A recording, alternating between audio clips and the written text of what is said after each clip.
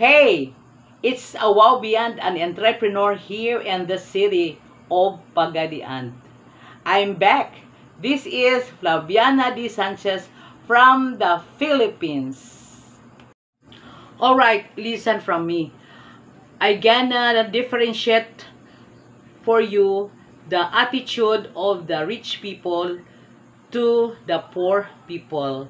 You know, rich people work hard and believe the appropriate to be well rewarded for the value they provide.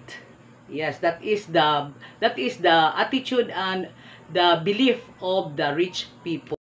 While the mentality of a poor people is one that influences behavior consistent with beliefs that money should not be spent.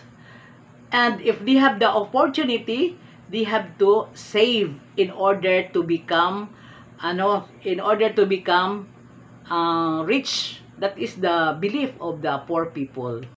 Okay, my definition of being rich is having financial freedom, having a debt free, and maintaining and you know rich people are maintaining a lower cost of living through my theory and analysis where you belong if where you have to leave a comment there below.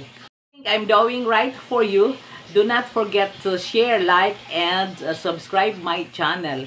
Go to the word all for the notification bell so that you will be the first to be notified for my next video. Out to Nikki's Journey, TD Dagatan, Mix TV, uh, Torch TV SA, Rizal Lewis, um, Janes Angeto, Nicholas, Gilbert Nicholas, uh, B Masters, Cocina ni Kuizi, Bells in Japan, and so other.